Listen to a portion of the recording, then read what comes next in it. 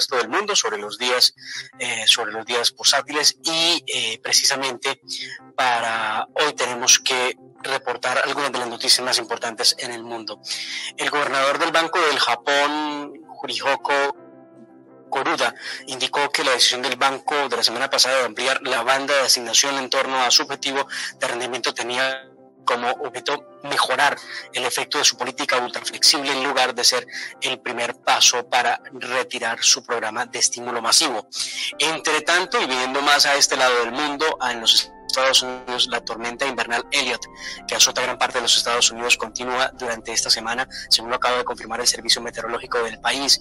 Por su parte, la gente en el oeste de Nueva York lidia con grandes acumulaciones de nieve que atascaron a los vehículos de emergencia y los viajeros en todo el país, vuelos y carreteras peligrosas, situación que por supuesto eh, dificulta la movida económica en el país, esperando que ya en los próximos días puedan superar este temporal invernal que los azota.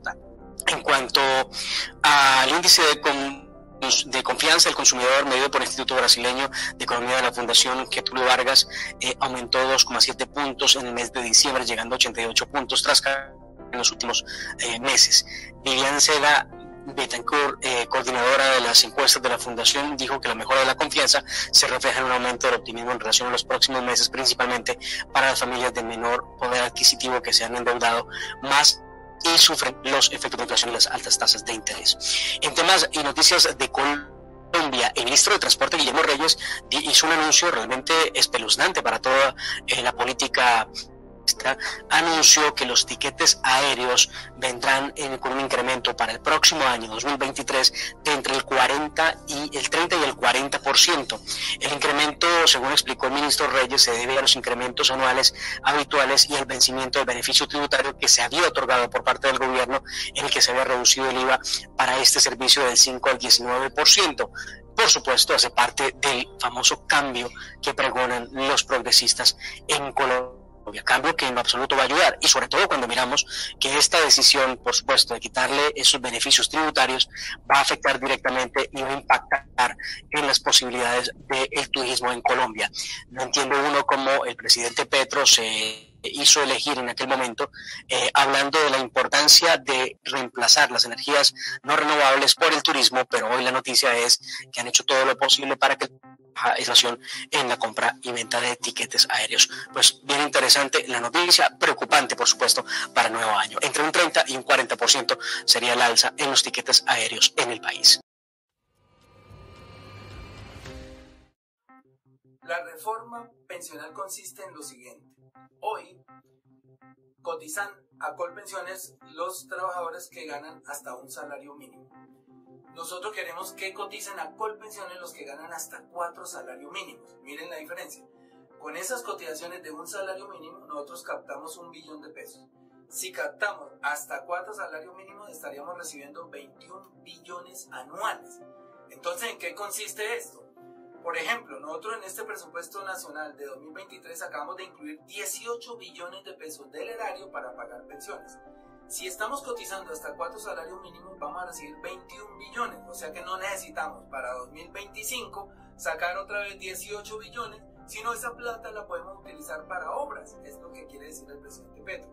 Por eso no nos alarmemos de que con el dinero que no vamos a gastar en pensiones, porque ya lo están cotizando solidariamente quienes ganan hasta cuatro salarios mínimos, nosotros hagamos obras de infraestructura porque es exactamente lo que están haciendo hoy los fondos de pensiones esa ruta del Sol 2, el puente de Chirajara, la vía Villavicencio se está haciendo con las cotizaciones a pensión. Entonces el Estado hará lo mismo.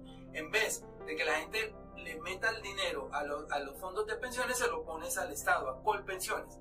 Y de esa manera nosotros podemos financiar obras de infraestructura y como ha dicho nuestro presidente Petro, también bajar el déficit fiscal que nos dejaron muy alto, de casi 8%. Y nosotros con ese dinero también podemos bajar en los dos primeros años por lo menos dos puntos del déficit fiscal y también tener dinero para esas obras de infraestructura que está anunciando el Plan Nacional de Desarrollo. El poeta laureado. Qué grata coincidencia. Esta, que es mi última crónica de este 2022, es para anunciar con bombos y platillos que el poeta de mi tierra, Omar Ortiz, será galardonado hoy con el premio a la vida y obra de un escritor que cada año entrega la gobernación del Valle. El acto, a celebrarse en el Hotel Intendente de Cali y presidido por la gobernadora Clara Luz Roldán y su secretaria de Cultura, resume en su sobriedad la importancia del reconocimiento. Omar no solo ha escrito varios libros de poemas, muchos de los cuales han sido premiados. Omar ha sido la voz colombiana en festivales de poetas en varios países de América y Europa, a donde le han invitado. Omar galgó alguna vez el Premio Nacional de Poesía que otorga cada tanto de tiempo la Universidad de Antioquia. Y todo eso, y mucho más, lo ha logrado Omar sin irse de Tuluá. En la Universidad Central del Valle es el director del Departamento Cultural, dicta cátedra y organiza cada año dos encuentros literarios nacionales e internacionales con escritores de prosa y poesía a los que acuden centenares de entusiastas, pues él tiene la gran capacidad y habilidad de montarlos perfectamente armados y aceitados para que funcionen y den eficientes resultados. Reconocido nacionalmente como un gran poeta, editado en el país, en México, en Nueva York, en Madrid, en París, ha publicado en las más apetecidas revistas literarias de esos y otros países, pero sobre todo, Omar fundó y ha mantenido por casi 40 años la revista Luna Nueva, tan bellamente editada como plena de poetas nuevos, de poetas provincianos, que ven por primera luz sus versos en letras de molde y desde allí han levantado los pedestales de sus exitosas carreras.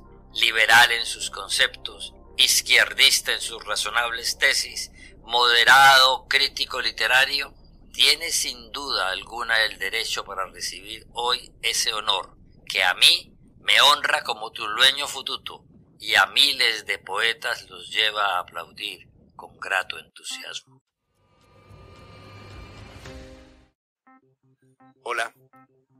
Gobierno del cambio se ha comprometido a garantizar el derecho pensional sacándolo del negocio privado del sector financiero. Y además se ha comprometido a incorporar a 3 millones de adultos mayores con derecho pensional que los saque de la línea de pobreza el liderazgo natural de este proyecto está en cabeza del Viceministerio de Empleo y Pensiones, hoy a cargo de Flor Esther Salazar, designación que saludamos, conocemos de sus amplios conocimientos al respecto. Esperamos buen viento y buena mar de este gobierno para lograr los derechos pensionales de los colombianos. Abrazo grande para todas y todos.